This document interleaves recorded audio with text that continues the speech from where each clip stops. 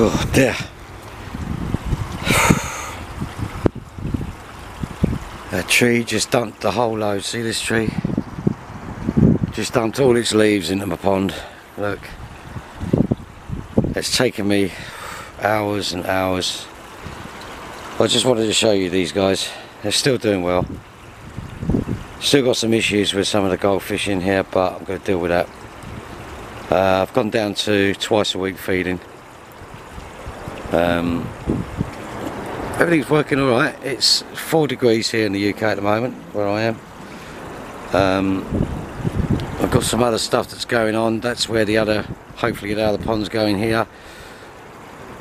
Done a lot of clearing, put the path in. Um, she weighs 27 pound. Damn. Um, I did find some babies. Unfortunately, didn't survive and I don't believe that they were actually um, koi babies anyway. Um, I'm going to actually put a koi factory into into there so if we do get any babies I can segregate them. Um, just to let you know really it was a quick one, the pond's clear as you can see but the leaves didn't do it any favours so uh, I'm going to try and get a pagoda, I think they're called pagodas to go over the top so that'll be something for the summer. Okay guys just thought I'd let you know what's going on, you take care now. Oh Happy New Year.